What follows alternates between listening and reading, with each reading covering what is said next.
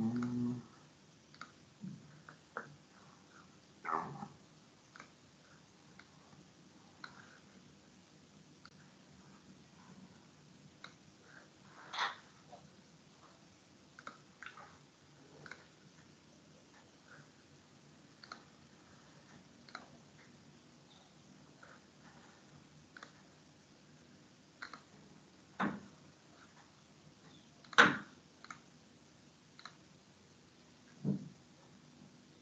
Imagino que sí me escuchan, ¿no?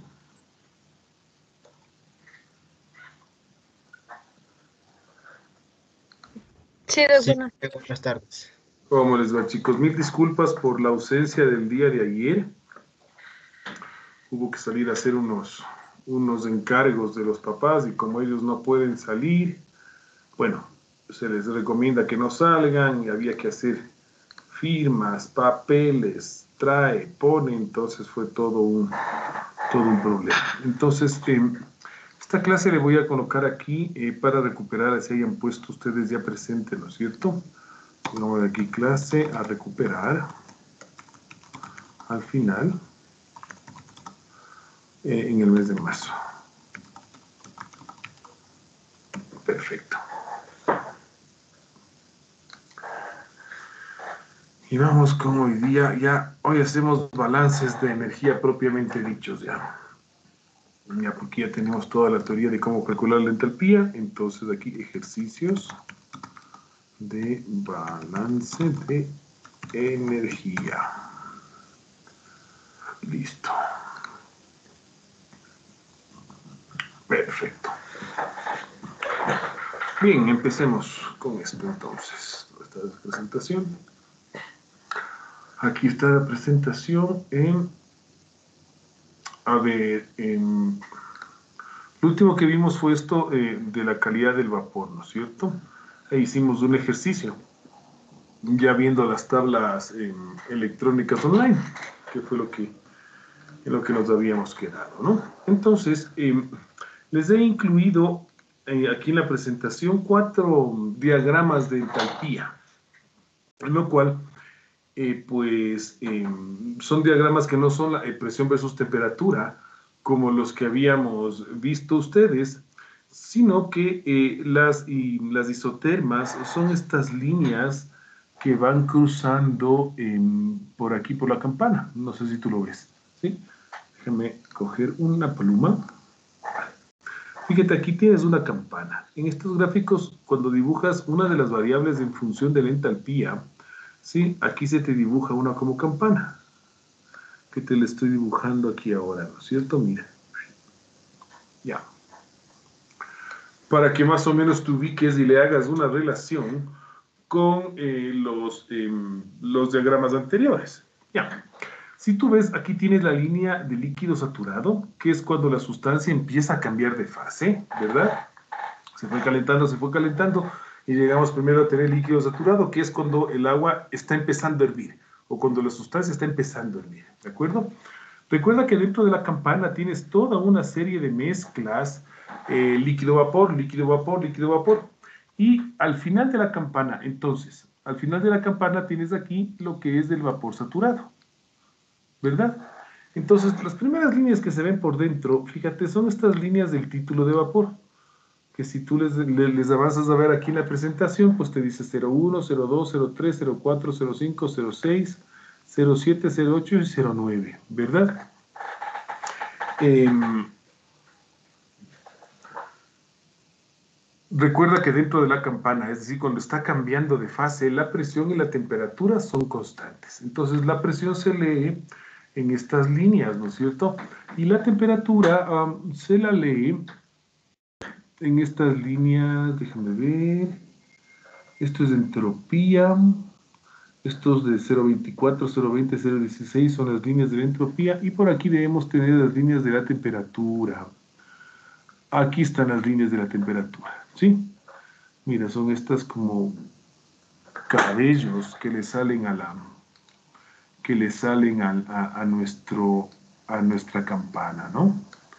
Entonces ubicas los puntos dentro de la campana, ubicas el título del vapor, es decir, qué cantidad de masa de vapor existe, 0% de vapor aquí, por el título es 00, ¿verdad? Y vapor totalmente seco acá está en el 0,90, ¿de acuerdo? Por encima de esta zona tienes tú a lo que es el vapor sobrecalentado. Entonces, ubicas los puntos de presión y temperatura en el gráfico, ¿sí? Y pues eh, puedes leer la entalpía hacia acá abajo. Este gráfico es interesante porque tienen estas líneas entrecortadas que están en esta parte derecha, eh, lo que es el volumen específico, mira, lo que es el volumen específico, también tenemos eh, líneas de lo que es entropía para esta sustancia, ¿de acuerdo? Este es, por ejemplo, el dióxido de carbono. A este punto de acá arriba de la campana, que es donde se forma la, esta campana como tal, es el punto crítico, ¿no? Por encima ya tú sabes de que en cualquier condición de presión y temperatura, pues eh, siempre va a estar en estado de vapor, ¿no? No, haber, no hay posibilidad de cambio de fase por encima del punto crítico. Bien, entonces eh, son gráficos también de entropía.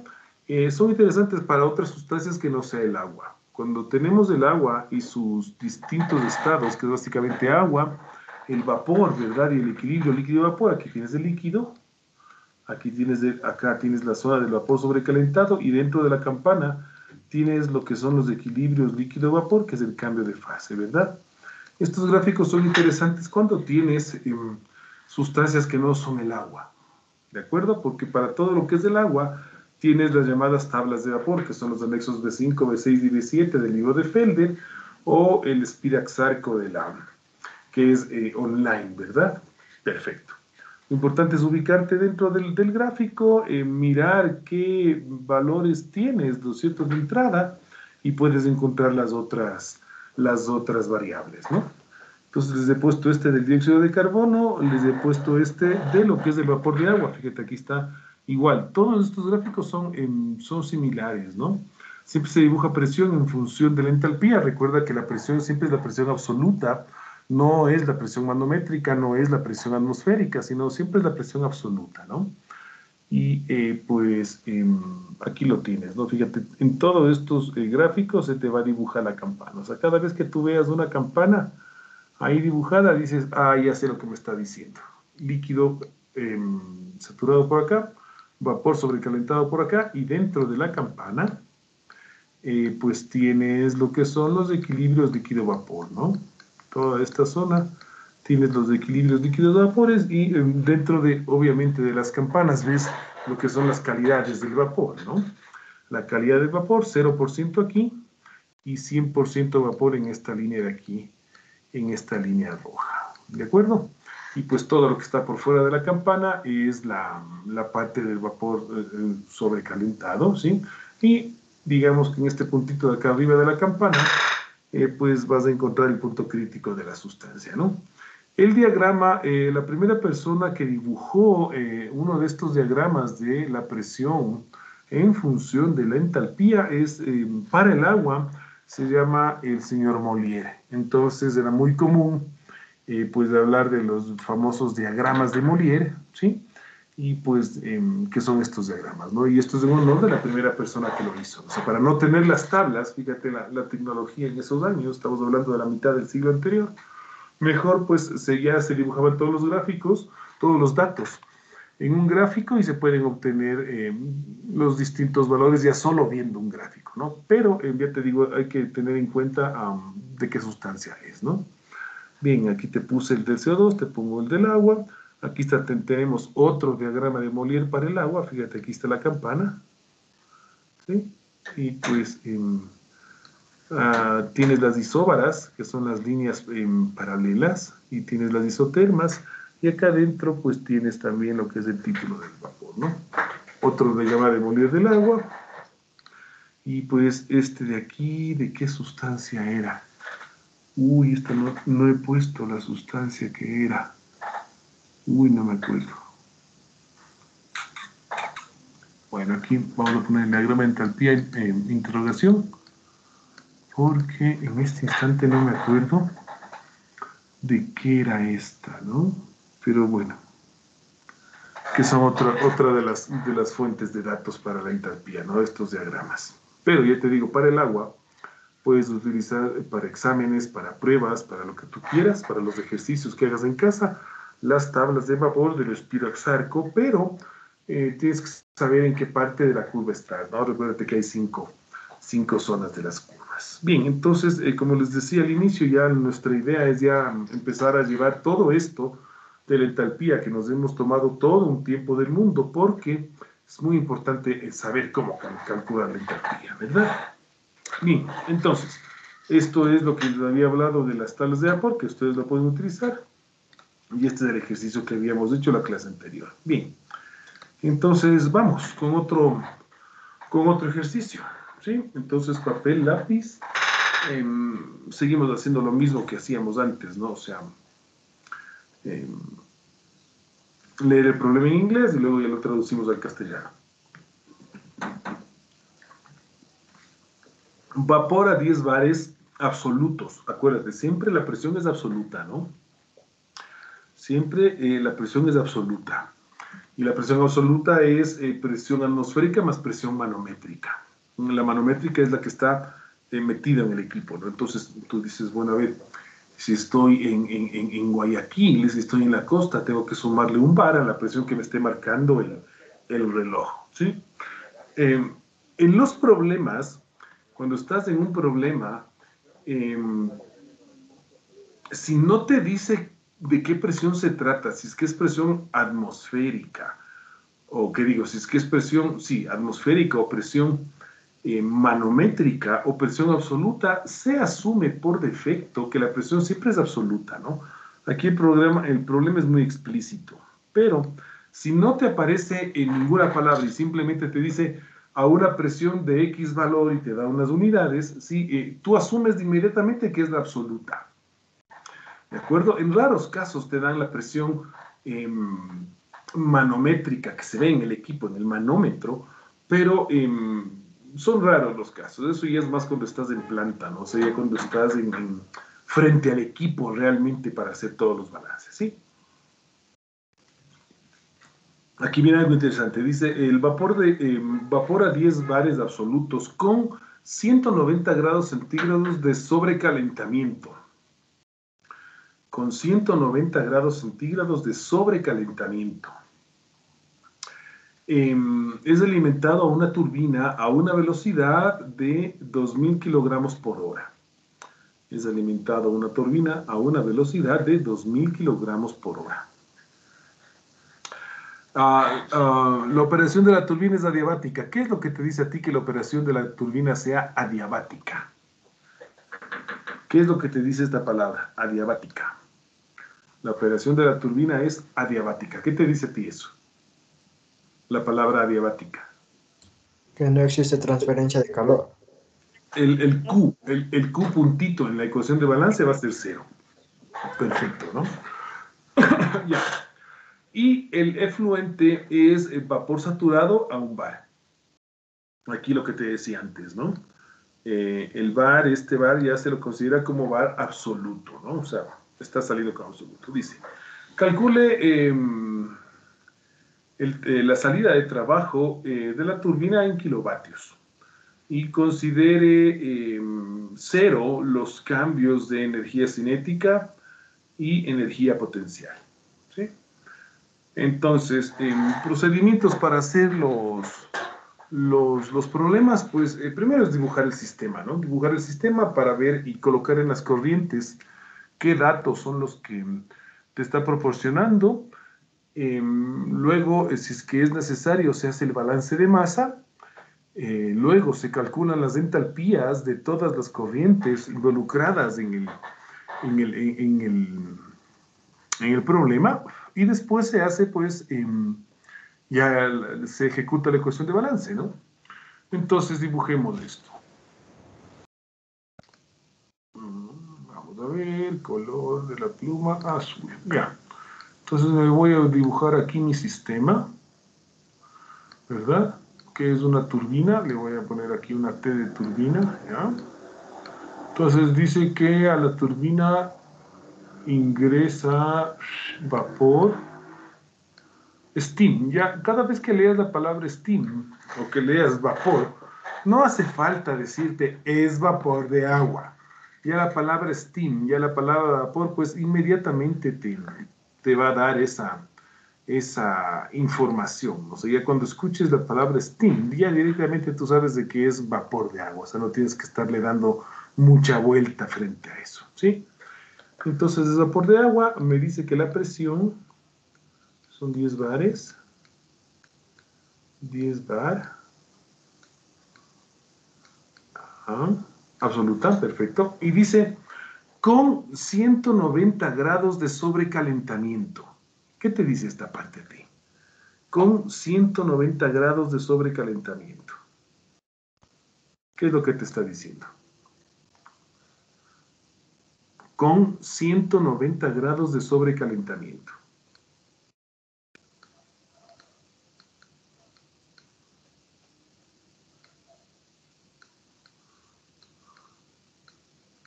No te dice nada. ¿O lo estás pensando? Está como vapor sobrecalentado. Sí, exactamente, está, sobre, está, está como vapor sobrecalentado, pero eh, ¿a qué temperatura está ese vapor sobrecalentado, chicos? ¿Podemos saber a qué temperatura está el vapor sobrecalentado? ¿Sí, no?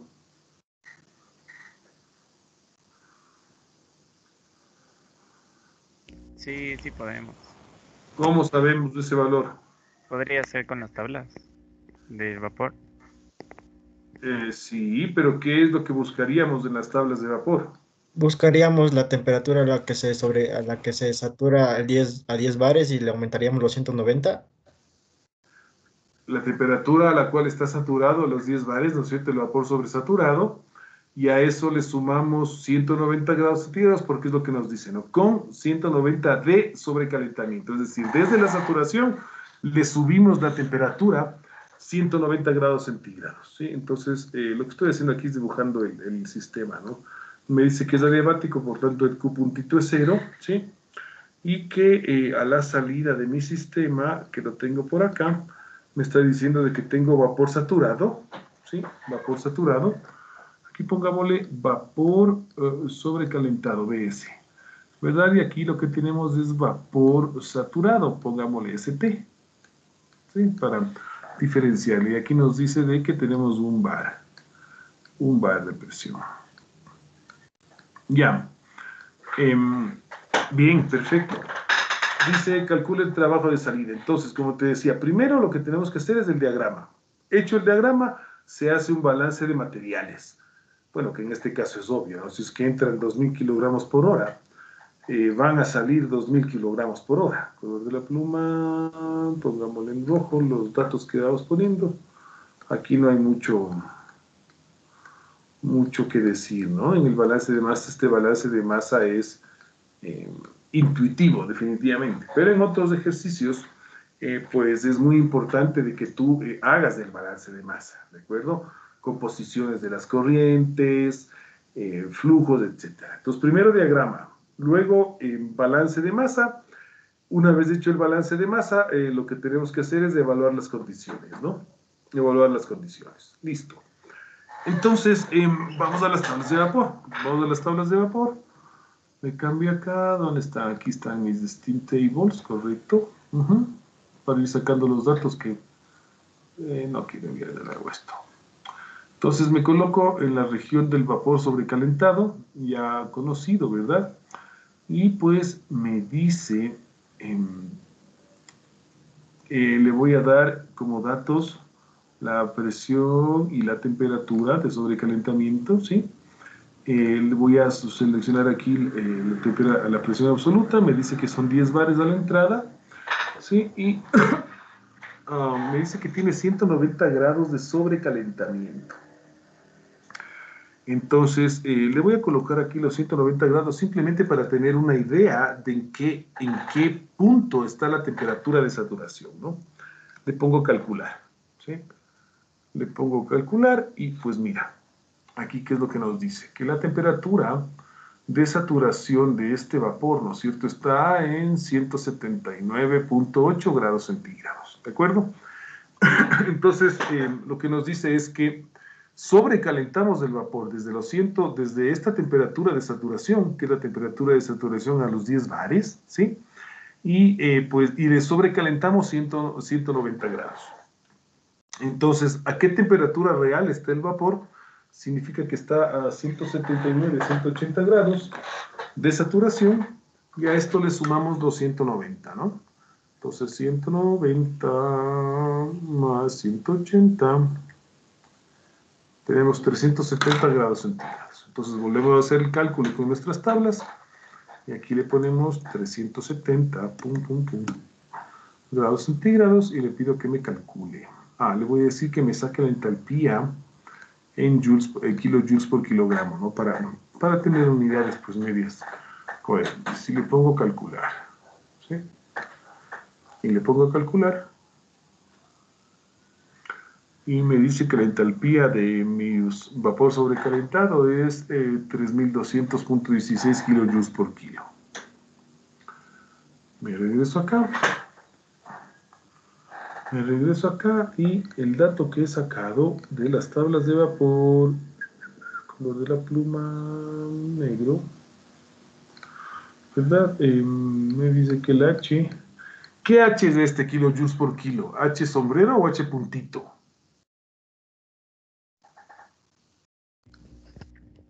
H sombrero. H sombrero. Ya, me decía que era 3200.16. 3200.16 kilojoules por cada kilogramo. Y ya sé que mi vapor está entrando a 370 grados centígrados, ¿no? Bien. Ahora voy a, ver qué entalpía tenemos del agua a un bar, del vapor saturado. Regreso a mis tablas y lo que debo hacer es ubicarme en la línea del de vapor saturado, ¿no? En la número 4. Me voy a la número 4. Sí, y um, voy a darle como dato la presión, correcto. Uh, gauge es el eh, la presión manométrica, ¿no? Absolute es la presión absoluta y esta es la presión manométrica, ¿no? Entonces, presión absoluta, le ponemos eh, un bar y le pedimos que me calcule, le voy a pedir que me arroje la temperatura, la, la entalpía del vapor en kilojoules por kilo, ¿sí? Una buena forma de estudiar esta parte, mis queridos chicos, es eh, tratar de ubicar estos puntos que voy sacando yo con, la, con, con, el, con las tablas eh, online del vapor, tratar de eh, obtenerlos con las tablas de vapor.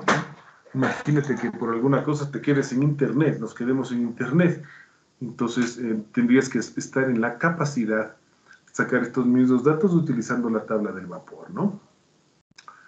Ya, eh, 2674,44.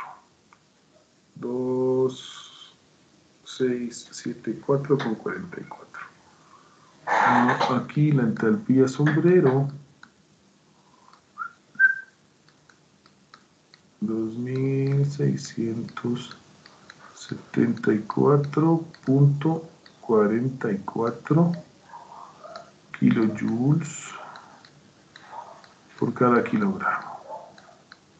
Bien. Entonces, paso uno, leer el problema, entender el problema. Paso dos, hacerte una, mm, un diagrama del problema, pues para ver qué es lo que tienes, ¿verdad? Paso tres del balance de masa, que en este caso es súper sencillo, es súper intuitivo, siempre en 2000 sale en 2000. Eh, paso 5 es eh, calcular las entalpías, todas las entalpías posibles de cada una de las corrientes que entran a tu, a tu diagrama. Y paso 6, aplicar la ecuación de balance. Entonces, ¿qué es lo que nos dice la ecuación de balance? Nos está diciendo que el cambio de entalpía más el cambio de energía cinética más el cambio de energía potencial es igual al calor menos el trabajo shaft, ¿no es cierto? El shaft work. Ah, como fíjate que las unidades de la masa están en, el flujo, o sea, tenemos un flujo por hora, lo que tenemos aquí todos son puntitos, ¿no? El shaft work en puntito, el Q en puntito, este también sería puntito, este sería puntito, Y eh, la entalpía también sería entalpía puntito, ¿no? Porque es por tiempo. Ya.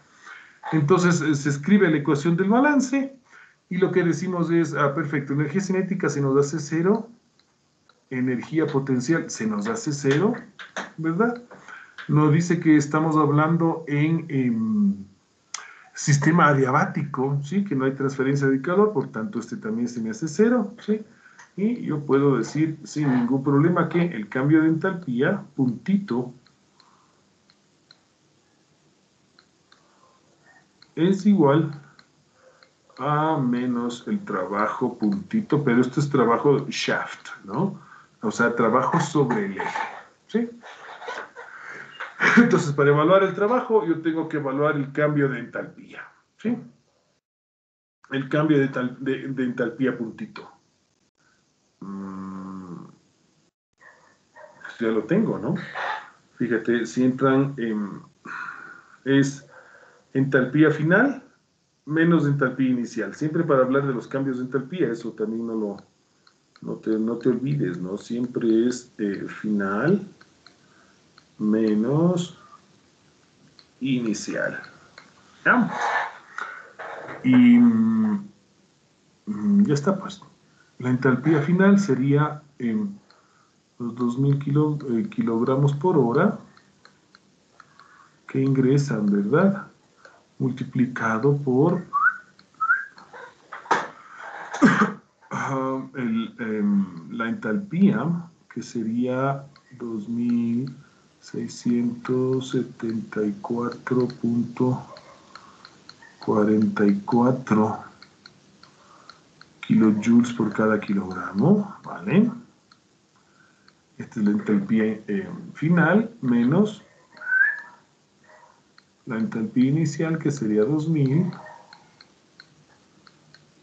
kilogramos por hora, la masa, ¿verdad? Multiplicado por 3200.16.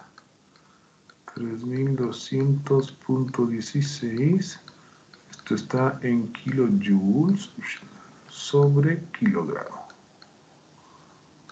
Ahí está, ¿no?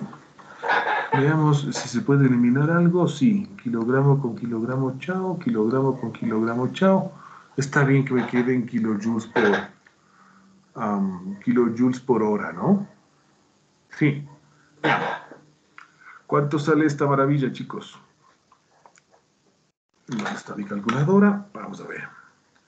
Pues hacemos 2000 multiplicado por 2674.44 menos 2000, 2, 3, por 3200.16 igual. Esto me sale menos 1051. 1051.44. Punto 44, esto está en kilojoules por hora. Ya, pero me pide en kilovatios. ¿Cómo transformo de kilojoules por hora a kilovatios, chicos?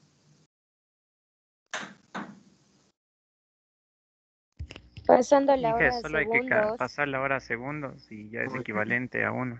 ¡Qué maravilla! Ustedes están súper pilas. Una hora son 3600 segundos. Y esto es igual. Entonces este 1051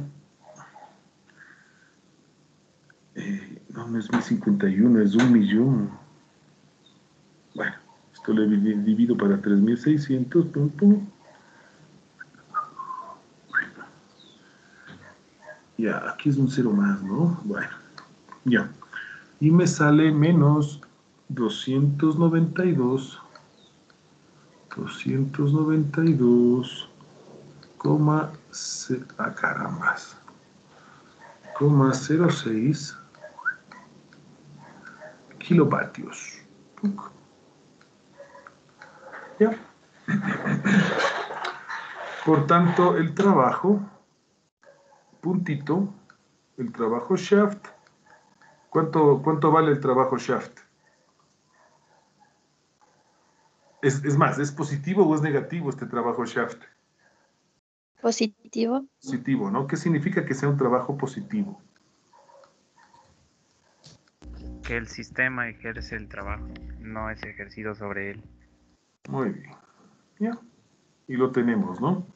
No se olvidarán de esto de la, de la convención del signo. Igual eh, está puesto la, la, resolución en, en, en, del libro, ¿no es cierto? Creo que se llega a la misma respuesta. Déjenme ver.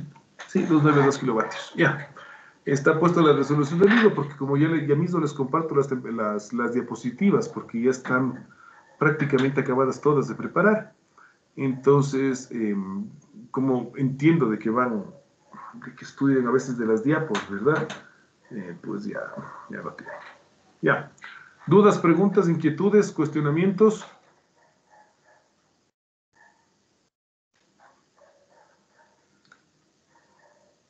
¿Mm?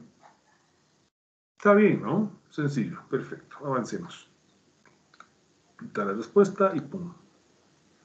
Vamos, siguiente ejercicio. Ya, dice, eh, dos corrientes de agua se mezclan uh, to form the of the, of the boiler.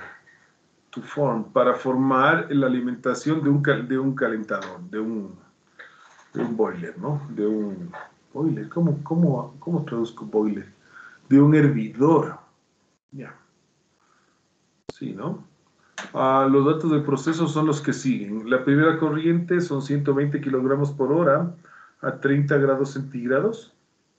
120 kilogramos por hora de agua a 120 grados centígrados. La corriente 2 de 175 kilogramos por hora eh, a 65 grados centígrados, ¿verdad?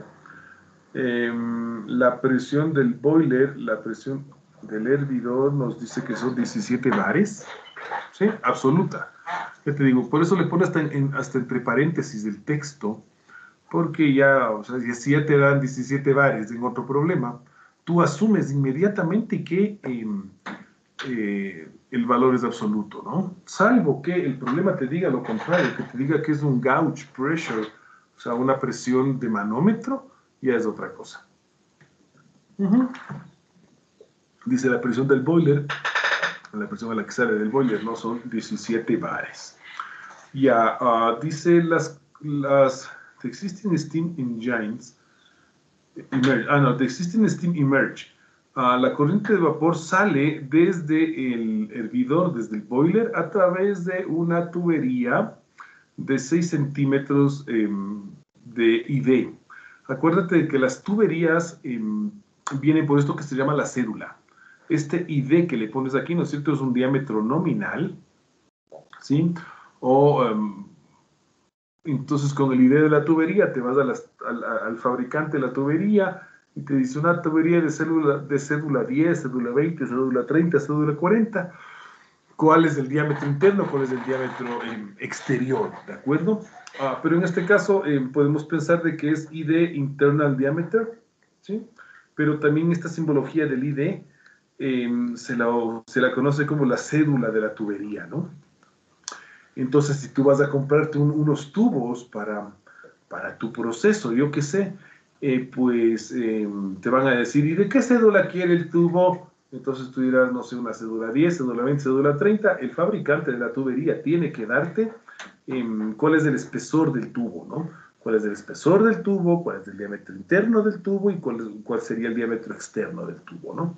O sea, por ejemplo, eh, seguro que te has ido a comprar tú alguna vez o has estado ahí presente cuando eh, te dicen, eh, vamos a comprar tubería para la casa. ¿Y de qué tamaño quiero la tubería? De media. Entonces, de media pulgada o de tres cuartos de pulgada o de una pulgada, ¿sí? Entonces, como ya son medidas medias estándares a nivel doméstico, esto de media, tres cuartos, una pulgada, ¿sí?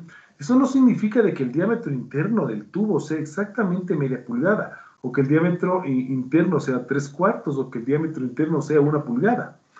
Eh, eso significa que la cédula de la tubería da para que más o menos el diámetro interno sea pues eh, de media pulgada, más o menos.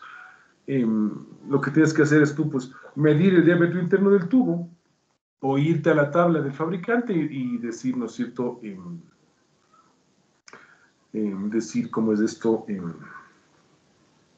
que te digan el valor del diámetro del tubo, ¿no? Esto sirve para hacer cálculos de la energía cinética, tener el diámetro interno, ¿no es cierto?, por el cual está saliendo la, saliendo la mezcla, ¿no? Em, por eso es lo que te estoy haciendo este, este cuento de la, de la famosa cédula de la tubería, porque necesitas saber el valor exacto del diámetro interno. ¿sí? Ya. Dice, eh, calcule el calor que se requiere em, introducir en el boiler, en el boiler, o sea, calcule qué cantidad de calor tengo yo que dar en el boiler, ¿verdad? En kilojoules por minuto, es decir, el puntito, por eso te pone aquí el puntito, ¿no? Es decir, el cupuntito, em, si eh, el, vapor que sale está saturado a la presión del boiler.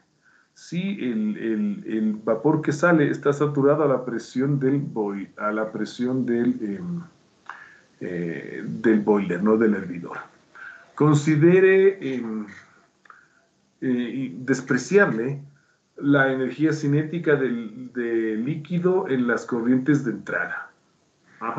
Para no considerar despreciable esa energía cinética, deberíamos nosotros conocer los diámetros de las tuberías, porque así podríamos calcular eh, la energía cinética puntito que está entrando, ¿no?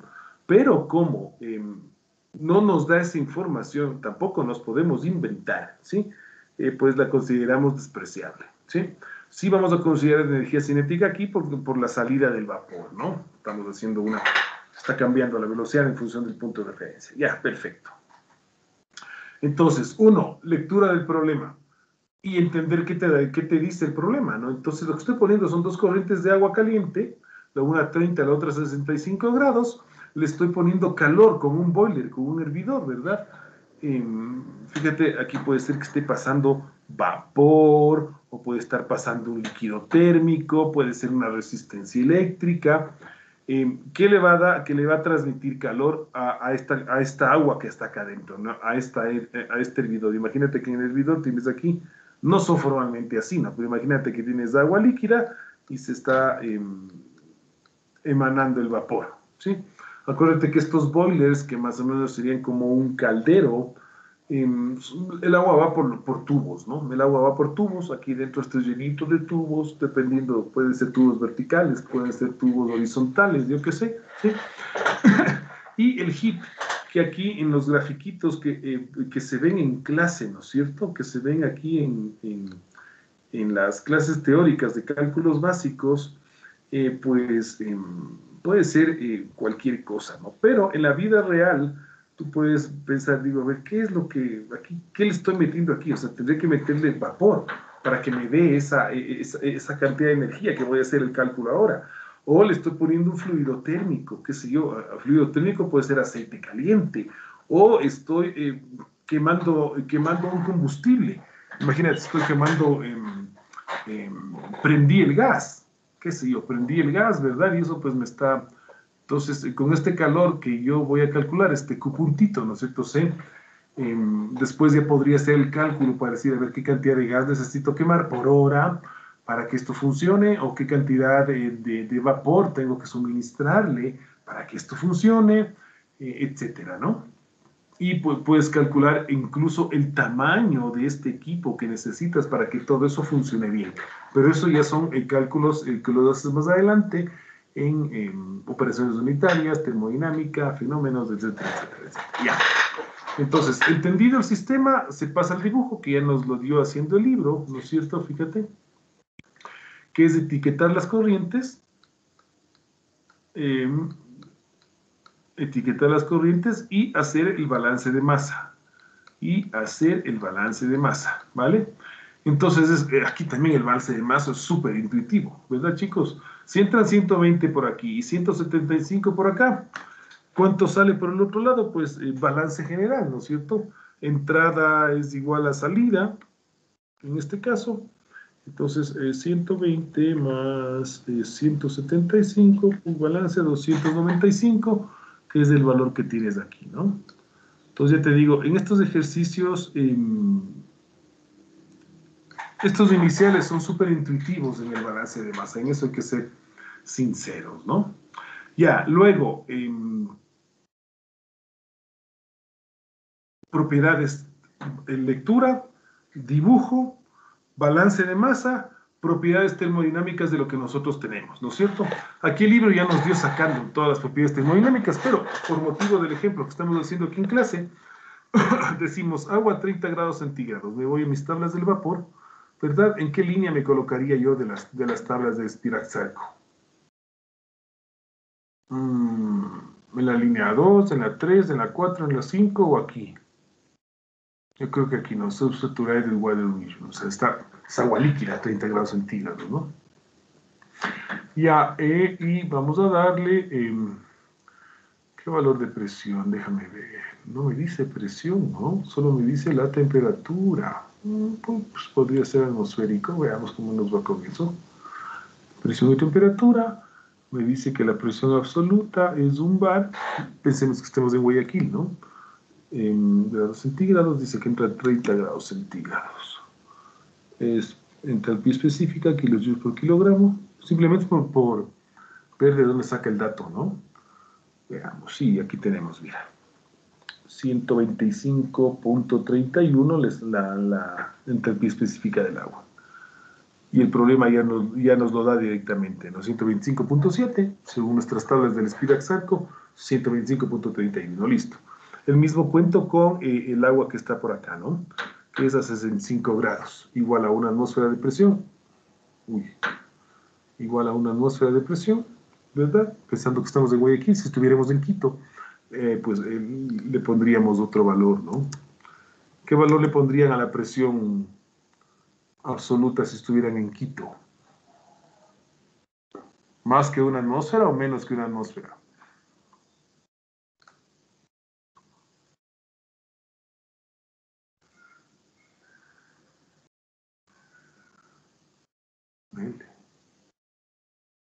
Ya se me durmieron. Me- menos.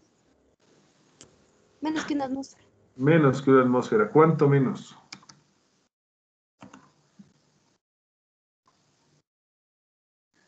Como 0.90 por ahí. 542 milímetros de mercurio. La presión atmosférica en Quito, ¿no? 542 dividido para 760, eh, 0,71. 0.70 y algo es. 07, 071. Ya, o sea, son datos ya que ya vale la pena que los vayas memorizando, porque vivimos de la altura, ¿no? Pero estoy seguro que algún día te irás a, a estudiar a otro país y allá, pues, por lo general, siempre la presión es de una atmósfera, ¿no? Igual, una atmósfera 65 grados, me dice que la entalpía de esta agua es 271.667. 271.667, que es lo que tengo aquí, ¿no? Fíjate. Las entalpías las entalpías, ¿no? Luego me dice de que eh, tengo el agua saturada a 17 bares. Vamos a verle, em, me coloco aquí en, en qué, en qué línea me colocaría para el- la saturada, el vapor saturado aquí, ¿no? En el Dry Saturated Steam Line. Y me decía que la presión a la que sale, eso son 17 bares. Presión bares atmosféricos absolutos, pin, 17 bares. Calculamos. Ay, no le puse, ay, de ponerle kilojoules por kilo. Ya, calculamos. Como ejercicio para tu casa, eh, mi recomendación es que, mm, que te hagas, como es esto, el, o sea, que encuentres estos valores siguiendo las tablas. Pero, profe, ¿para qué hacemos eso si ya tenemos el- el- esto en el Internet? Ya, sí, correcto, lo tienes en el Internet, pero vale la pena de que te des esa destreza también de saber leer las tablas. Imagínate que estás eh, trabajando y no tienes Internet a mano, pero tienen ahí dibujado un molier grandote o te encuentras unas tablas de vapor que ha tenido el ingeniero que es de la vieja escuela ahí en la, en la oficina, pues para que sepas cómo manejar las tablas de vapor, ¿no? Ya, a ver, aquí me dice que el valor es eh, 2793. Lo que debe salir de esto, chicos, es eh, estos dos valorcitos de aquí, fíjate. La entalpía, 2793, y eh, la temperatura de saturación. ¿De acuerdo? Esta temperatura de saturación es muy importante porque eh, si es que em, sobrecalientas este vapor, sabes que, em, que si le, le, vas a poner 10 grados encima de la desaturación o 20 grados encima de la saturación, pues hay que sumarle la temperatura de saturación más la cantidad de, de temperatura que, que, le está sobrecalentando, ¿no? Ya, entonces aquí tenemos 2793, que es el valor que tenemos acá, ¿no? 2793 kilojoules por kilo y está anotado aquí la temperatura de saturación. Pues bueno, hasta aquí no hay ningún, ningún misterio, ¿no? Entonces, eh, primero balance de masa. ¿Qué pasa con esto? ¿Por qué se burla? No entiendo. Ah, está repetida. Ah, no, pues qué tontería, esperen, esperen. Bueno, está repetida ya después de borro. Primero hay que hacer el balance de masa. Está hecho. Está hecha la entalpía en cada una de las corrientes. Está hecha. Ahora sí tenemos que hacer el balance de energía. Ya. Vamos planteando el balance de energía. Ah, no, pues esto, bueno, ya está. Para no estar escribiendo ahí a cada, a, a cada rato con la plumita, ¿no? Pluma, bien. El cambio de energía de entalpía por el cambio de la cinética, por el cambio de la potencial, es igual al calor puntito menos el trabajo shaft, el trabajo sobre el eje, ¿no? Todos son puntitos porque tengo flujos, ¿sí? Uh, no hay partes que se mueven, este trabajo se hace cero, ¿correcto? Dice de que eh, la energía potencial, ¿no es cierto? Eh, se, la, se la considera que es muy pequeña debido a los cambios eh, de desplazamiento que puede sufrir. O sea, si entra por abajo y sale por arriba, imagínate, ¿no? Imagínate de que tu equipo es así, ¿verdad? Y pues por aquí está entrando la columna, la una corriente, por acá, va, por acá abajo estaría entrando la otra corriente, ¿verdad? Y está saliendo por acá arriba. Es verdad, tú puedes decir, oiga, profe, pero si hay cambio de altura, ¿no? Fíjese de dónde entra la corriente y por dónde sale. Aquí tendría una altura 1, aquí tendría una altura 2, ¿verdad, profe? ¿Por qué no calculamos eh, la, la, energía potencial, el cambio de energía potencial? Porque eso eh, va, va, a ser un valor muy pequeño. Eh, más o menos piensa, más o menos piensa que 10 metros de agua es una atmósfera de presión, o sea, deberíamos tener un cambio de por lo menos 10 metros aquí, como para que esa, esa, esa energía potencial nos empiece a interesar. ¿Sí? Si no son valores muy pequeñitos que ya en el cálculo global, pues no vamos a, no va a cambiar mucho esto, ¿no? Ya, entonces por eso que decimos que la potencial se nos hace cero, ¿de acuerdo? Ah, bien podrías hacer tú el cálculo, bien podrías hacer tú el cálculo asumiéndote ¿no es cierto?, alturas distintas. Pensemos que este boiler, este caldero, ¿qué tendrá de altura? Tendrá unos un metro y medio de, altura, dos metros. Imagínate, ya un equipo de dos metros de diámetro, de tamaño.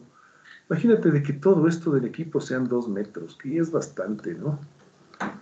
Sí, un equipo de dos metros ya no es un equipo, no es un juguete, ¿no?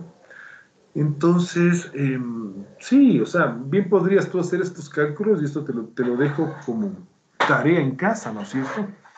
Eh, de que evalúes estos cambios de energía potencial. Pensemos de que esto sale a los dos metros, este tubo de salida sale a los dos, a a los dos metros y que eh, pues eh, la corriente 2 que está por aquí, la corriente 1 que está por acá, imagínate que esta entra a a la altura de 50 centímetros del piso y esta está entrando a eh, 75 centímetros del piso. Y calcúlale la energía cinética para que veas. ¿De acuerdo? Esto sería un ejercicio interesante, ¿no? um, o sea, te estoy diciendo, para comprobar de lo que, de que esta... Um, idea de asumir las cosas no está mal.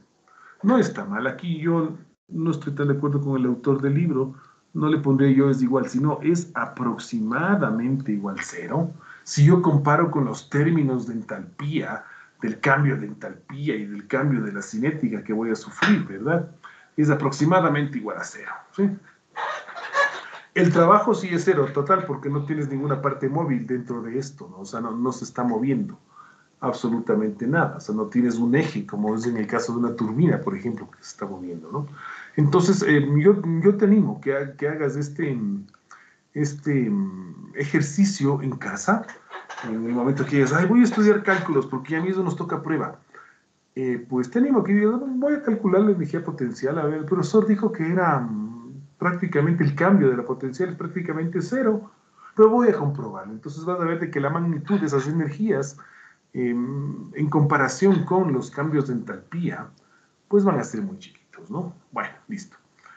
Hecha la ecuación de balance, ya escrita la ecuación de balance como está escrita aquí, lo que tenemos que hacer es em, evaluar los términos, ¿no es cierto? Evaluar los términos. Por lo general, ya te digo, los máximos cambios de energía están aquí, en la entalpía, ¿no? Por lo general, el máximo cambio de energía lo vas a ver aquí. Entonces, es así lo que viene la, el cálculo de la entalpía, ¿no? Fíjate. Siempre es cálculo de la entalpía, es final, como te decía, en inglés outlet, salida, menos inicial, inlet. ¿De acuerdo? Y es la sumatoria de la masa por las entalpías, por eso es importante hacer primero el balance de masa, no te olvides. En las entalpías individuales tienes aquí la entrada, ¿no es cierto? Em, déjame ver.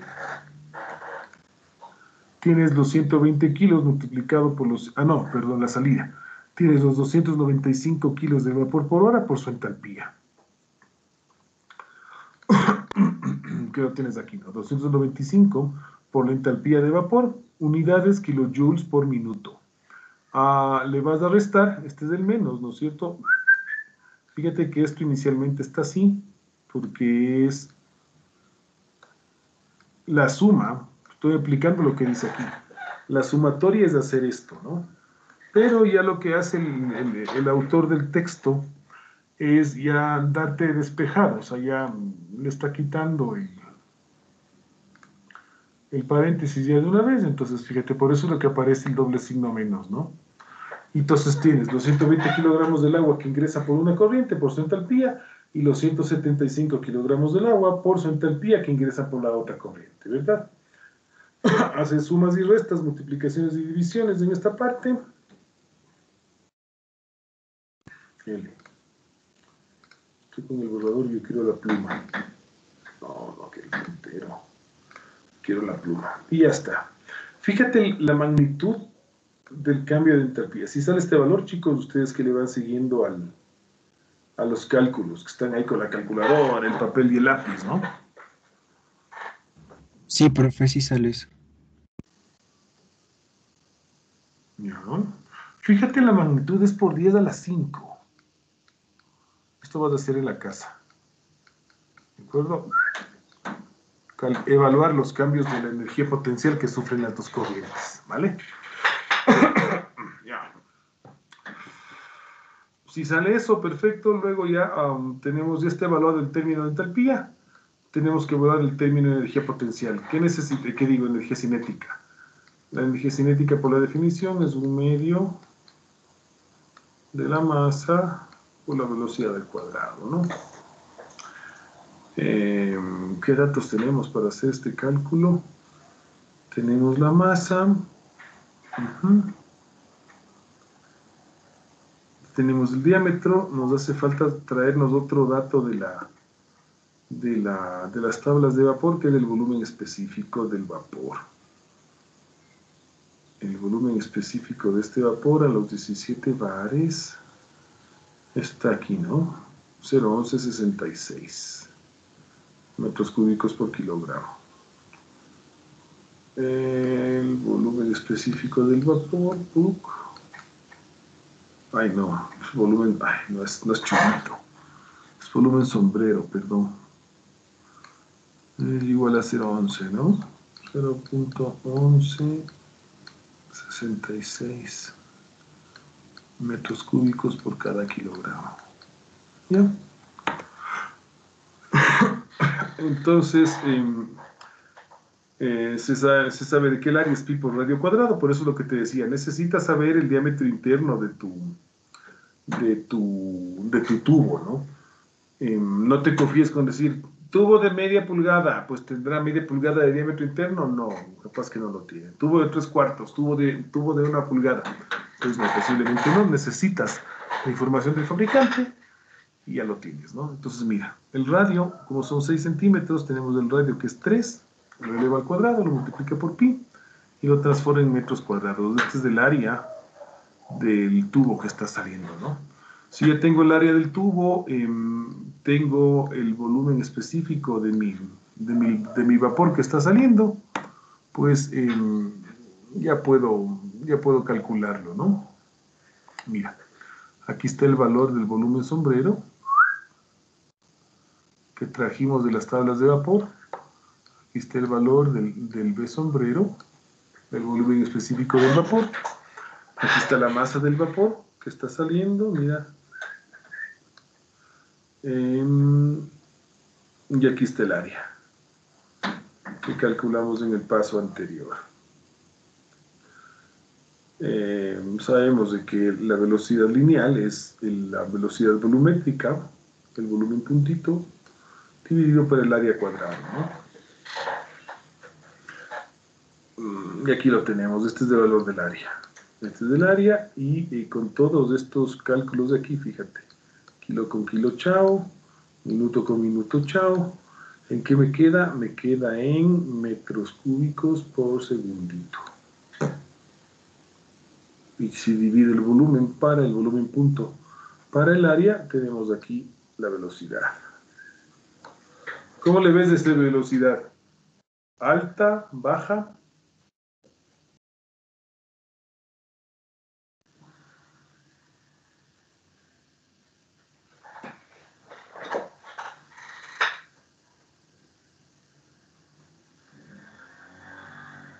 Bien.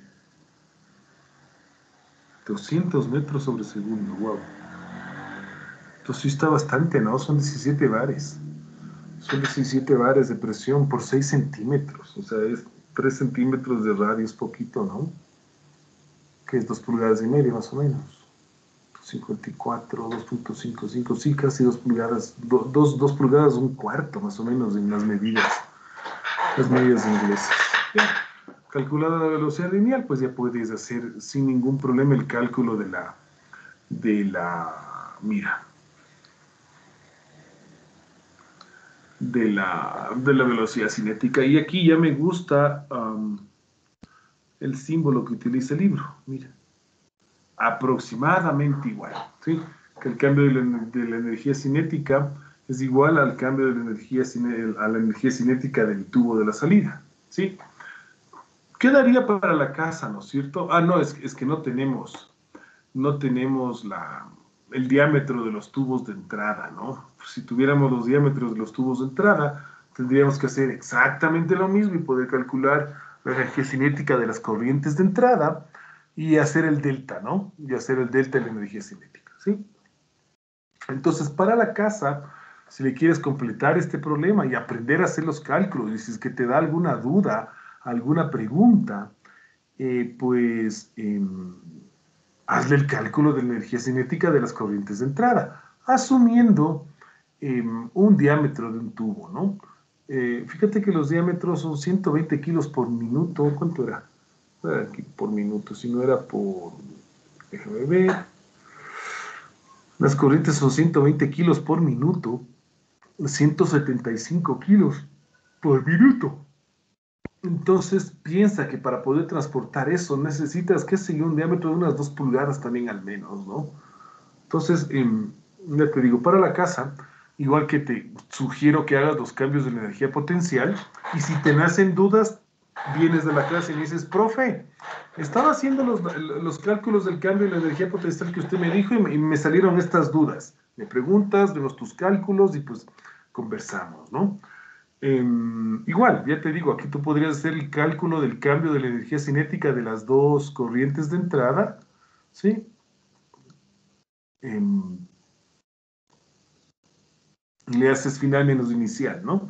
Y le haces final menos inicial, vas a ver que prácticamente estos cambios de energía cinética de las corrientes de entrada no son tan representativos, ¿no? Para el cálculo final. Es por eso que el libro aquí nos dice, no, pues fíjate, más o menos el cambio de la cinética es la energía potencial, la energía cinética de la corriente de salida.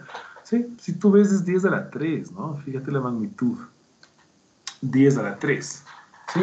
Que versus la magnitud de 10 a la 5 de la entalpía primera ah, de, que, se, que calculamos primero, igual vas a tener una, una respuesta de 10 a la 5 también acá.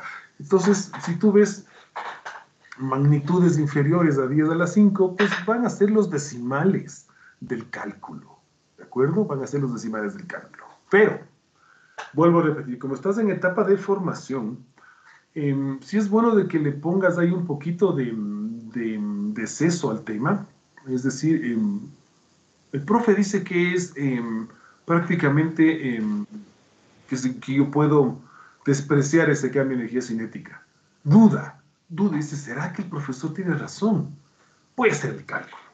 ¿Qué necesito? Ah, pues imagínate, no tengo el diámetro de los tubos, no importa, me asumo que el diámetro del tubo es igual a 6 pulgadas.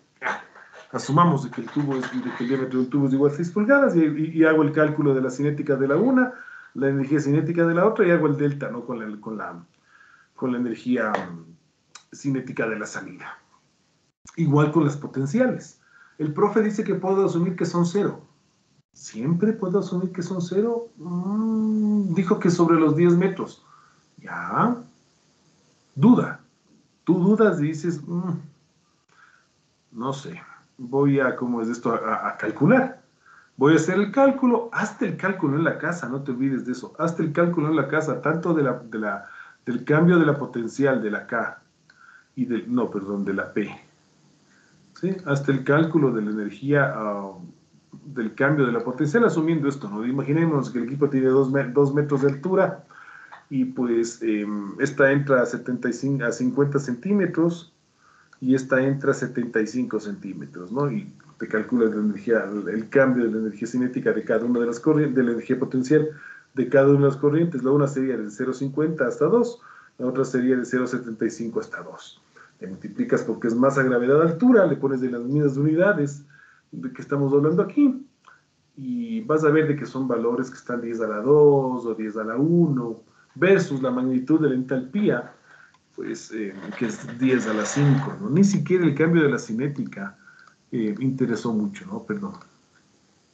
Pero, vuelvo a repetir, em, tú que, em, que estás en periodo de formación, hazte los cálculos, hazte los cálculos y si te nacen una, alguna duda, del cambio de la cinética, del cambio de la potencial, eh, lo traes a la siguiente clase, levantas la mano, profe, antes de que empiece, mire, tengo esta duda, hice el ejercicio, no me salió, qué raro, qué extraño, explíqueme. ¿Vale? Y ya está. ¿Dudas de este ejercicio, chicos?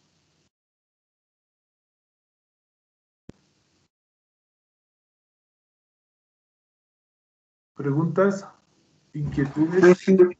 Profe, disculpe, eh, ¿podría poner un momentito en, la primera diapositiva? Creo que era donde estaba señalado las alturas. No me alcancé a copiar. gracias. Digamos que la corriente 2 entra a 50 centímetros con relación al suelo, ¿no es cierto? Y la corriente 1 entra a 75 centímetros con relación al suelo. Pensemos de que el equipo, la altura total del equipo, igual con este es el plano de referencia, ¿no? Es 2 metros, o sea, y este punto de aquí, por donde van a salir los gases del boiler está a 2 metros. Y ahí tienes. Si va a haber un, si va a existir un valor, digo, si va a existir un valor, pero estará por 10 a la 1, 10 a la 2 máximo ese valor. Y mm, vas a ver que esa, ese, ese, ese valor de esa energía, bueno, te influirá, pero eh, en los decimales de este, ¿no? Fíjate que el máximo cambio de la entalpía es, en, o sea, el máximo cambio de la energía, en este caso viene por las entalpías, ¿no? Del vapor que se, se maneja. Bien, más cosas, más preguntas, o pasamos a otro. Eh, hagamos otro, ¿no? Aprovechemos. Ya.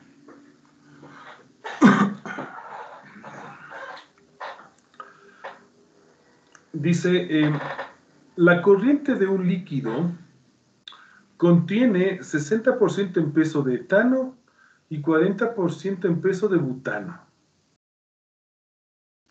La corriente de un líquido contiene 60% en peso de etano y 40% en peso de butano, de un líquido, ¿no? Ojo, líquido. Bueno, dice, y em, va a ser, is to be heated, será calentada desde 150 Kelvin a 200 Kelvin, a una presión de 5 bares.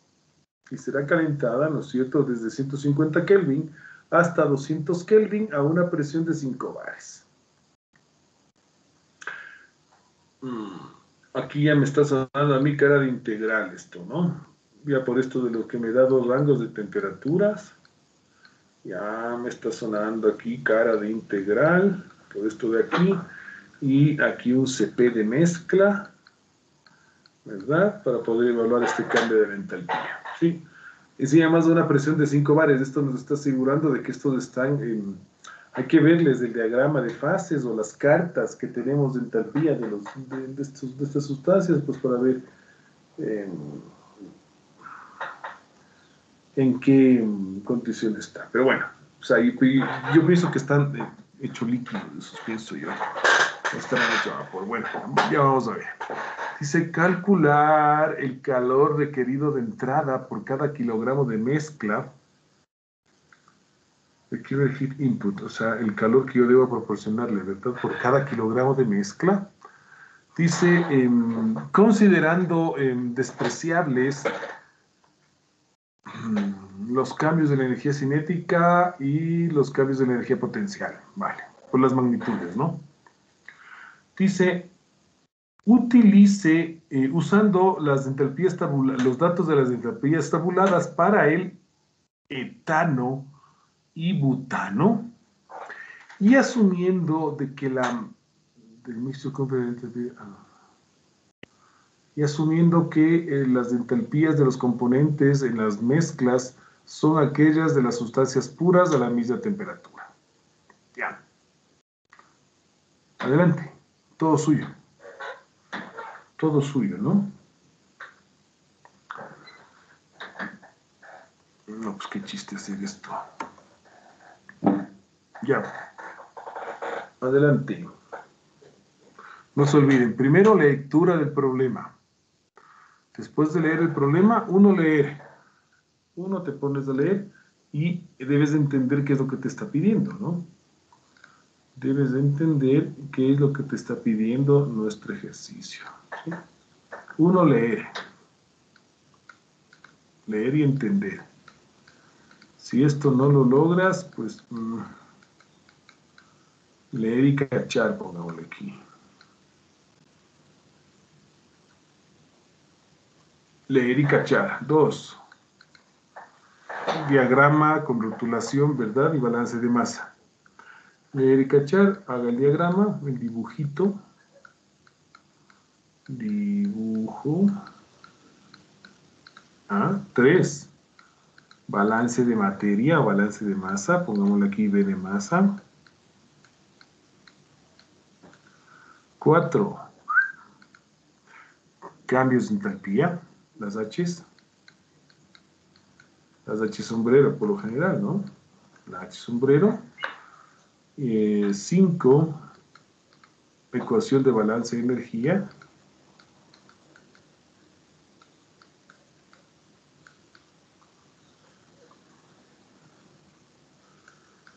Energía. Y 6, pues ya resolver, ¿no? Cálculos, primero sería cálculos. Cálculos.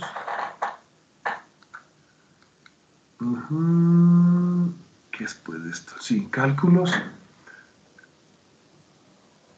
Y ya a 7 darle respuesta, ¿no? Y ser feliz en la vida. Respuesta y estar feliz de la vida.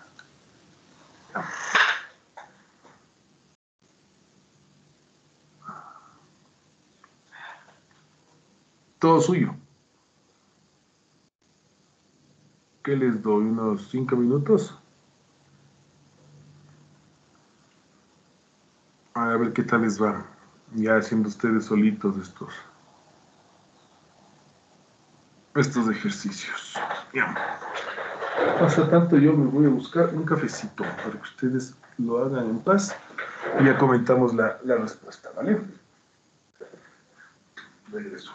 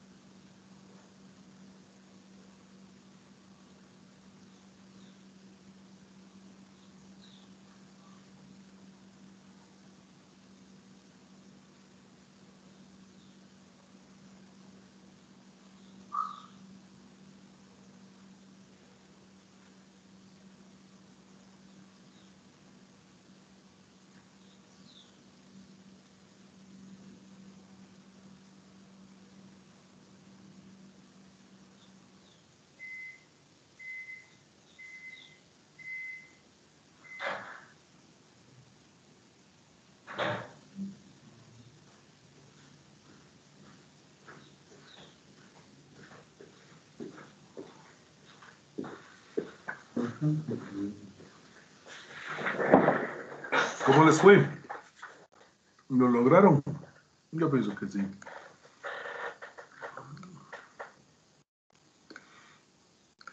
Mm, Aquí está la, el dibujo, ¿verdad? Entre un kilogramo por segundo de la mezcla.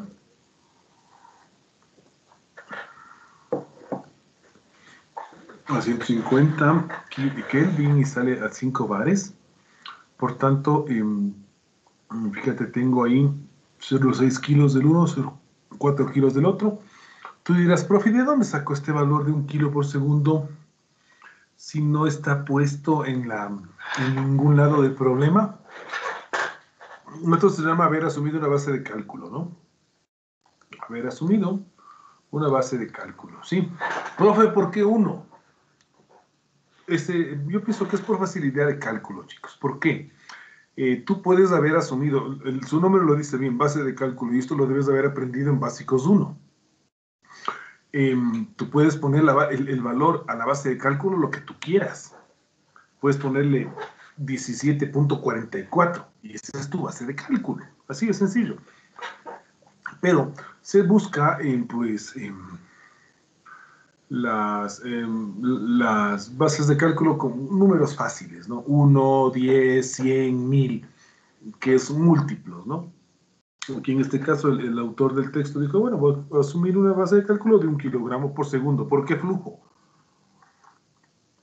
Porque em, vamos a hacer esto con los puntitos, no con la entalpía. Todos son flujos en, en, ecuación de balance, ¿no? Eh, se etiqueta a lo que se conoce, ¿verdad? Luego eh, se va a hacer el, um, el balance de la, la energía, fíjate. Eh, nos dice, trabajo cero, no tiene partes móviles, perfecto. Nada se mueve ahí dentro. No es turbina. Eh, cambio de cinética nos dicen que es cero, cambio de potencial también nos dice que es cero. Eh, esto es, ojo, lo que dice aquí, ¿no? Por hipótesis. ¿Ves? Ya porque nosotros decimos, bueno, esos cambios van a ser chiquititos en comparación con los cambios de entalpía. No siempre es así. Depende de las dimensiones del equipo.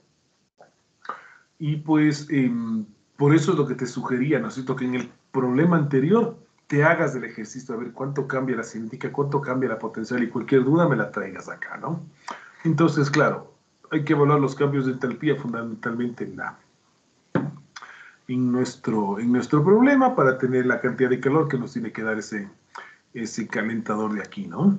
Ojo, que aquí es, está puesto como una flecha que, que, que entra, ¿no? Si tú lo ves, es una flecha que entra y una flecha que sale. Eso significa que es un fluido el que va a dar ese, esa cantidad de calor. Entonces puede ser vapor, puede ser agua caliente, puede ser un fluido térmico, es decir, algo que no sea agua, que eh, transporta la temperatura. Puede ser llama, es decir, algo se está quemando ahí, ¿no? ¿Cierto? Puede ser una resistencia eléctrica, cualquiera de esas cosas, pero por simbología aquí le está poniendo eh, como que es un fluido que pasa por un serpentín, ¿de acuerdo? Eh, pero no necesariamente, y esto, esto sí lo tienes que tener claro, de qué va a ser eso, ¿no? O sea, es agua que pasa por ahí, o otro líquido que pasa por ahí, o vapor, etc. Bien. Entonces todo se traduce en, saber evaluar las entalpías de cada uno de, las, de los componentes, ¿verdad?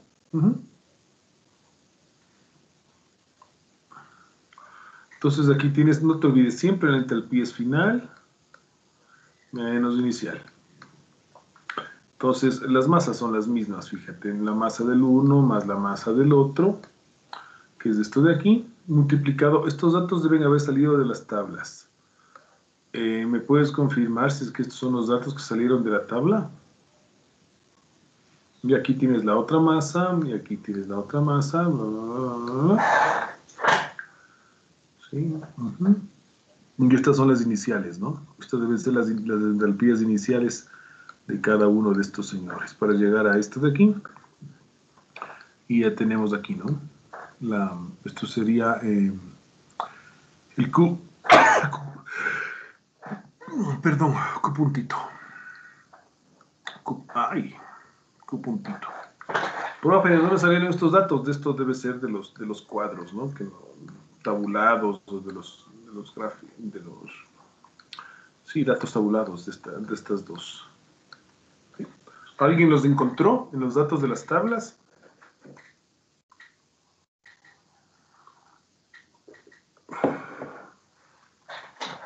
Yo pensaba que teníamos que ser integral, fíjate, pero aquí veo que ya leyó directamente el, valor en la tabla, ¿no? Y ya está. No pasa nada. ¿Alguna duda, pregunta? ¿Inquietud?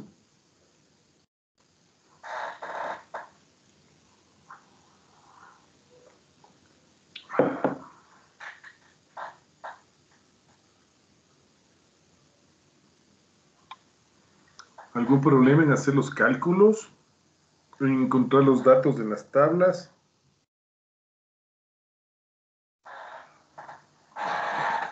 No parará la grabación, por Dios. Que en otra clase y solita, solita se paró la grabación.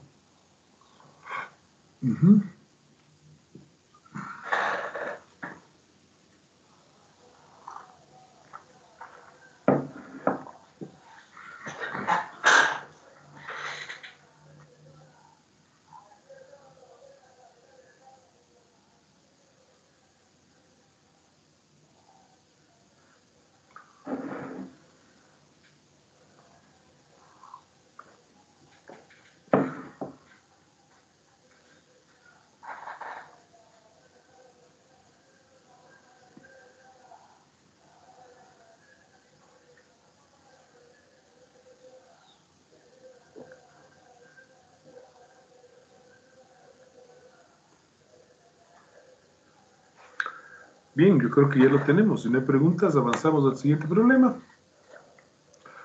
Y aquí lo tenemos. Ya con este problema terminamos el día. Dice, vapor saturado a una atmósfera. Esta atmósfera es em, absoluta, manométrica. ¿Qué es esta atmósfera?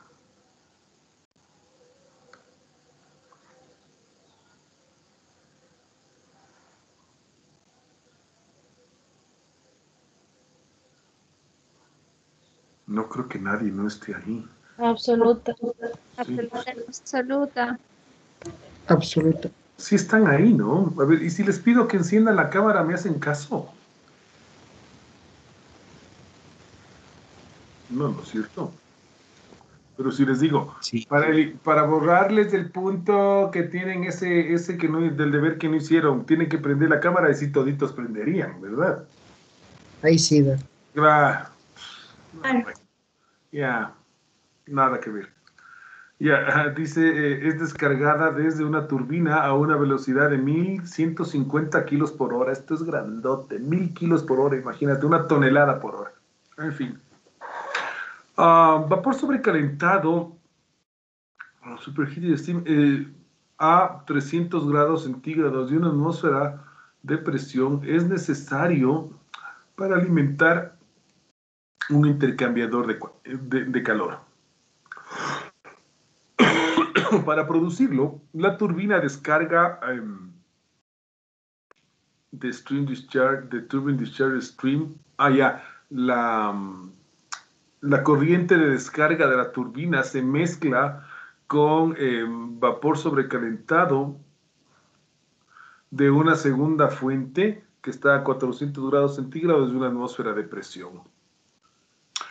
Eh, la unidad de mezclado opera de manera diabática, es decir, el, Q, es cero, ¿no es cierto? Punto. Calcular ah, la cantidad de em, vapor sobrecalentado a 300 grados centígrados producido y requerido ah, ah, ah, producido y el eh, dice el flujo volumétrico ah, de vapor a 400 grados que también es requerido, ¿no? Ya. Entonces, em, de una turbina sale eh, a- vapor sobrecalentado a una atmósfera de presión eh, a un- 1150 kilos. Wow, esto es grandote, es grande, grande. Imagínate una tonelada por hora. Em, dice que se debe producir, ¿no es cierto? Vapor a una atmósfera sobrecalentado a una atmósfera y 300 grados centígrados, para lo cual se utiliza esta, esta corriente que sale de la turbina y se lo mezcla con otra fuente que está a 400 grados centígrados de una atmósfera. Dice que la unidad de mezclado funciona diabáticamente. Calcule, eh, por favor, qué cantidad de mm, vapor a 300 grados centígrados se va a producir y eh, la velocidad de flujo volumétrico de la corriente a 400 grados centígrados, ¿no? Si está claro, no se mezcla una corriente con otra para producir vapor. Nos están dando datos parciales de las corrientes, ya no nos están dando todos los datos que nos daban antes, ¿no? Entonces, una vez leído el problema, se hace el dibujo, el grafiquito del problema, se etiquetan las corrientes. Datos conocidos, intenta hacer el, balance de masa, veamos qué es lo que nos pone aquí como sugerencia el problema. Nos está dando la masa, del, la masa puntito, ¿verdad? La masa puntito de la turbina de, de descarga nos dice que está a una atmósfera de presión, ¿verdad? Eh, dice que está, la saturación son 100 grados, son 100 grados centígrados, ¿no? Ya, y se calcula la, la entalpía, tablas de vapor, perfecto. Luego nos dice de que es una masa M1, que es la que nos va a pedir, que nos pide que, calculemos, que es de, esta, de este generador de vapor de acá. Está a 400 grados centígrados de una atmósfera. Este valor de aquí también sale de las tablas de vapor, ¿no? De vapor sobrecalentado. Mm, déjame pasarme mis tablas de vapor. Dice que esto sale de una atmósfera y 400 centígrados. Me voy a la línea del superheated. Es para comprobar el dato, ¿no? Es para comprobar el dato. Y de paso, pues bajo un poco la velocidad y usted puede ir copiando tranquilamente. Presión, contra la presión. Una atmósfera. Ah, un bar. Absoluta. Uno. Y la temperatura dice que son 400 grados. ¿Qué unidades me está dando? Kilojoules por kilo. Sí, este, a este libro le encantan los kilojoules por kilo. Kilojoules por kilo. Calculate.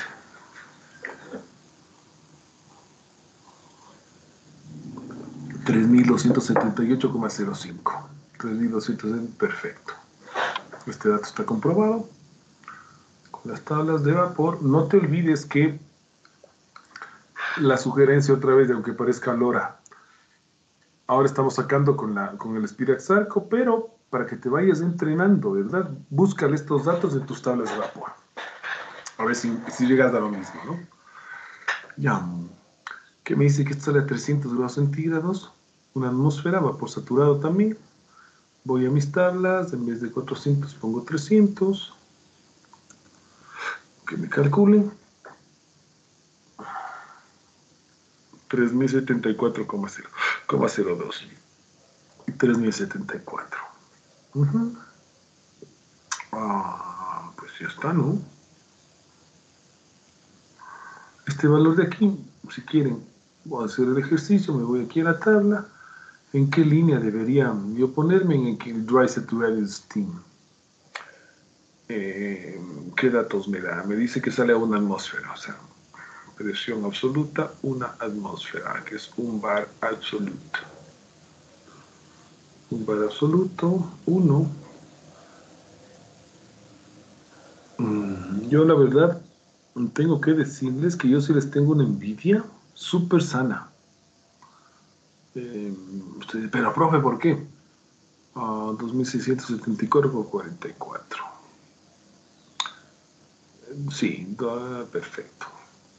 Porque en, en- los 90, claro, han pasado ya, puf, imagínate, 2021, yo tomé esta asignatura en el año 95, 96, 25 años atrás, wow, qué fuerte, qué fuerte. Si no tenías las tablas de vapor, o si no tenías el diagrama de Molière, bestia, no entrabas a clase y el profesor se ponía súper mal genio y tenías que ser un medio genio para hacer las interpolaciones. Ay, que te hubieran sacado malas copias de las tablas de vapor y no leías los números. ¡Qué locura! Así decías, madre de Dios, qué fuerte. Y ahora pensar 25 años más tarde ya es hacer un clic en la computadora, tener las tablas de vapor en el celular, ¡puf! O sea, sale envidia. En fin, ya. Están todas las entalpías. Está hecho el gráfico. Y pues ya está, ¿no? Vamos, poco. Entonces, em, dice que em, el balance de masa que lo tienes aquí, este ya no es tan obvio, ¿no? Porque tienes dos incógnitas. La masa de lo que sale de la turbina más la masa 1, que se sale a, a 400 grados, va a ser la masa 2. Está planteado el balance. Entonces, como estrategia, si ya tienes una ecuación con dos incógnitas, tienes que buscar otra ecuación con dos incógnitas para poder resolver, ¿no? Eh, planteas el balance de energía, calor menos el shaft work, el, trabajo del sobre el eje, delta H, cinética potencial, proceso adiabático, el calor es cero, el trabajo es cero, ¿por qué? Porque no tiene partes móviles y esto, fíjate qué bien, aquí sí estoy de acuerdo con el libro, fíjate cómo lo pone aquí.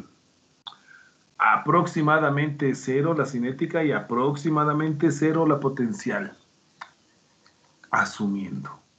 ¿Sí? Es con el ejercicio que vas a hacer en la casita, eh, pues em, vas a ver, ¿no es cierto? Si es que esto tiene, em, si es que esas magnitudes se pueden realmente despreciar o no, ¿vale? Ya. Por tanto, nos, eh, nos queda de que em, hay que calcular delta H, ¿no? El cambio de delta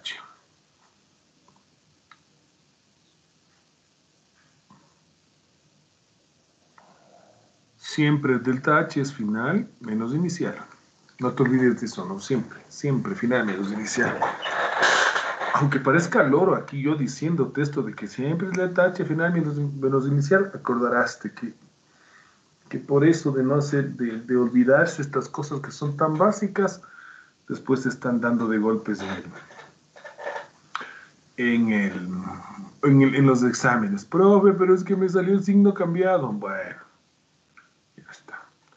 Entonces, fíjate, es la masa por la multiplicación de la entalpía de entrada, más la masa por la multiplicación de la entalpía, ¿no es cierto?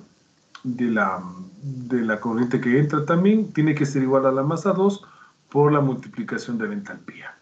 Entonces, si tú eres una persona observadora, aquí tienes tu segunda ecuación. Esto es la siguiente clase, eso ya es para otro día. Bien. Ay, caramba. Ya tienes dos ecuaciones con dos incógnitas.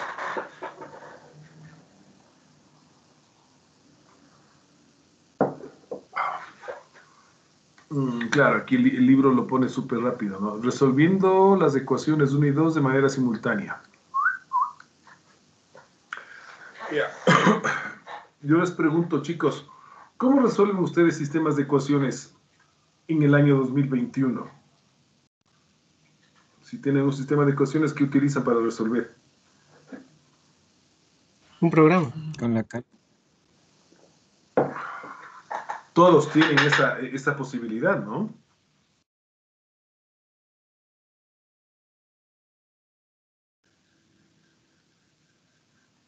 Bien. Es que es genial, es que ya te digo, eso es súper genial. Porque ya pones esto rápido en la calcu, y ya te resuelve. Espectacular. Sí, yo sí recuerdo los exámenes y a veces nos tocaban sistemas de 3x3 y tocaba hacer a mano esto, triangular las matrices, que, si es que te gustaba el método de Gauss-Jordan, o si no las sustituciones, y a veces cuando te jalabas, llegabas a, inco- a inconsistencias de cero es igual a cero y decías, pero ¿por qué, Dios? ¿Qué pasó? Y puf, cómo cambió el tiempo, la verdad. Pero qué chévere, o sea, entonces, mi recomendación ahora, en el año 2021 para ti, es eh, si tienes una calculadora y se puede programar la calculadora, hazte tus propios programas. Hazte tus propios programas, no te quedes solo con los programas que vienen en tu calculadora. Hazte tus propios, tus propias cosas, la verdad, eso es súper bueno. Ya, Em, se resuelve el sistema de ecuaciones con la calculadora PRUC que te demoras en poner ahí los datos, ¿no? Ver, ponerle la forma que te pide la calculadora y etcétera, etcétera. Dice que em, hay que buscar el volumen específico a 400 grados centígrados de una atmósfera. Esto, eh, ya te digo, me vengo acá a, mi, a mis tablas de vapor, ¿no es cierto? Del superheated, ¿no? Si esto es superheated, sobrecalentado y simplemente es para comprobar el dato, ¿no?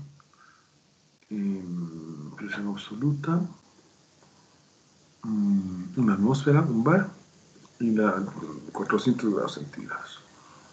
Mm, volumen específico, ya. Calcúlame con toda la alegría. Y le buscas aquí, ¿no? Mira.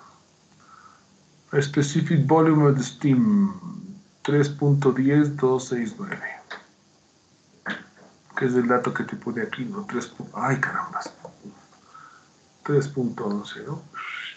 Aquí lo tienes el volumen específico. Ya está. Sabes, eh, 2400, que es este M1 de acá, ¿no es cierto? Que está acá, viene por el volumen específico metros cúbicos por hora. Que va a salir de la otra, ¿no es cierto?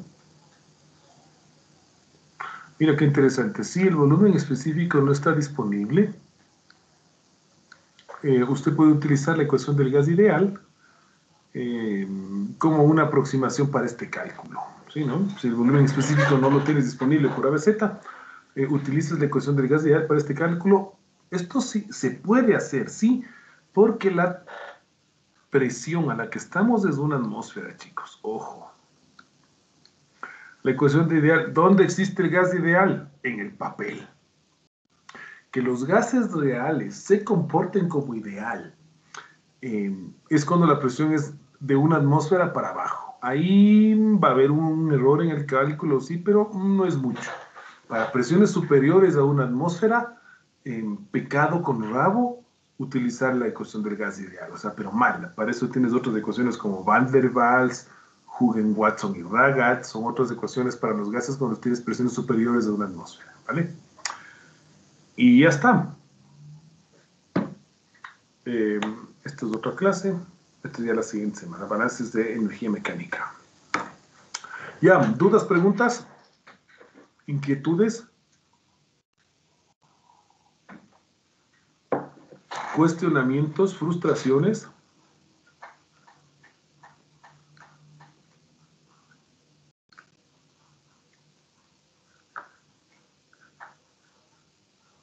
Profe, yo tengo una pregunta. Dime. Eh, en esa parte que dijo que se le podía sacar el volumen en, en base al gas ideal, eh, se utilizarían igual las, las condiciones que nos dan en esa corriente, ¿verdad? De alimentación. Claro, los 400 grados centígrados y la presión de una atmósfera, ¿no? Así es. Pero como te decía, el gas ideal solo existe en el cuaderno y los gases reales tienen un comportamiento similar al ideal cuando la presión es máxima una atmósfera.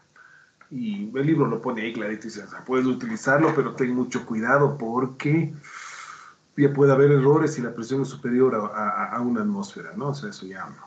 Hay otras ecuaciones para eso. Bien, más dudas, preguntas.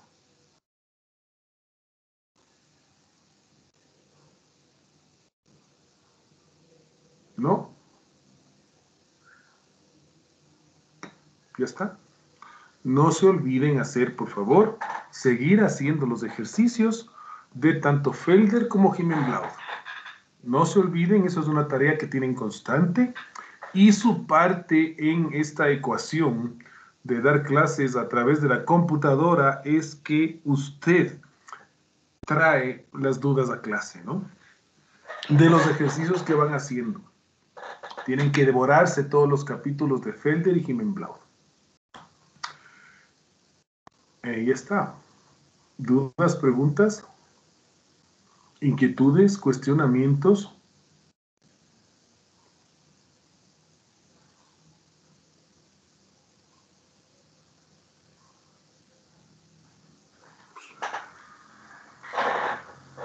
Señoritas, señores, me despido. Que tengan una tarde fabulosa. Cuídense, por favor, y nos vemos mañana, ¿no? Sí, Doc, gracias, hasta luego. Gracias, profe. Hasta luego. Adiós.